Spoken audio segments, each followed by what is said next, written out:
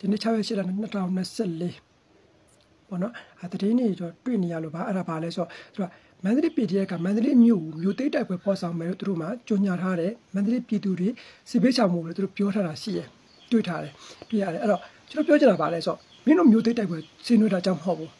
မင်းတို့မြို့သိမ်းတိုက်ပွဲဆင်းနွှဲပြီဆိုတော့အဲ့မြို့ပြက်ပြီအဲ့တော့အဲ့မြို့မှာဘာယူရှိလဲဘာသာတဒနာရည်ကျင်းမှုအမွေနှစ်တွေရှိရယ်မြတ်ဗုဒ္ဓရဲ့ သာသနာထွန်းကားနေမည်လည်းဖြစ်တယ်မြန်မာရှင်ပြည်နန်းဆိုင်ခဲ့တဲ့မြို့တစ်မြို့လည်းဖြစ်တယ်အဲ့တော့အဲ့ရင်ကျေးမှုအမွေနှစ်တွေကဲအောင်ရမြို့တစ်မြို့လည်းဖြစ်တယ်မင်းတို့တိုက်ပွဲဖော်ဆောင်လို့ဆိုအဲ့အရာဝတ္ထုတွေအကုန်လုံးသွားပြီဘာမှမရှိတော့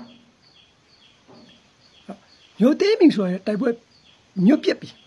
မြို့ပြက်ဆိုတာနဲ့အဲ့ရင်ကျေးအမွေတွေဘာမှမရှိတော့အဲ့တော့အဲ့လိုအဖြစ်ခံပါလားမန္တလေးပြည်သူတွေကဘာ ရှိုးကအခြေဒီကောင်းပြီလားဆိုတော့လေအဲ့လိုလည်းပြောလို့မရဘူးမကောင်းလားဆိုလည်းမဟုတ်ဘူး၃ရက်နေရမီဒီယာတစ်ခုကတင်ထားတယ်နော်ကျမတို့အမြဲတမ်းဝင်နေကြဖြစ်တယ်လာရှိုးကြီးဘက်က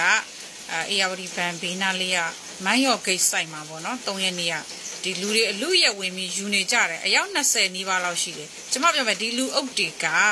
ဒီအပြစ်ခတ်တွေရှိနေရင်သူတို့ထွက်ရဲပါမလားအဲ့တော့အပြစ်ခတ်တွေလည်းမရှိဘူးဒါအန်ဒီမရှိတဲ့အတွက်သူတို့ထွက်လာရဲတာဖြစ်တယ် အဲ့ခါကျတော့ကျမတို့ဒီလာရှိုးမှာလူတွေတော်တော်များများရှိနေသေးတယ်လို့ကျမယူဆတယ်ပေါ့နော်အဲဘယ်နေရာတစ်ခုခုဖြစ်ပြီလဲဆိုရင်လူအုပ်ကြီးနဲ့လူအုပ်ကြီးနဲ့တွေ့ရတယ်လူတွေ၄50ယောက်ထပ်မနေ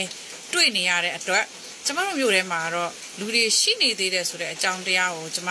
အဲဒါသဘောပေါက်လိုက်တယ်ပေါ့နော်အဲ့အတွက်အဲအခုလေတချို့ဆိုရင်ပေါ့နော်လူတွေကြံနေသေးတဲ့လူတွေစိတ်ပူနေတဲ့လူတွေနည်းနည်းလေးဖြေလို့ရအောင်ကျမပြောပြပေးရဖြစ်တယ်နော်လူတွေအဖော်တွေရှိသေးတယ်ဆိုတဲ့အကြောင်းကိုပြောပြတာနော်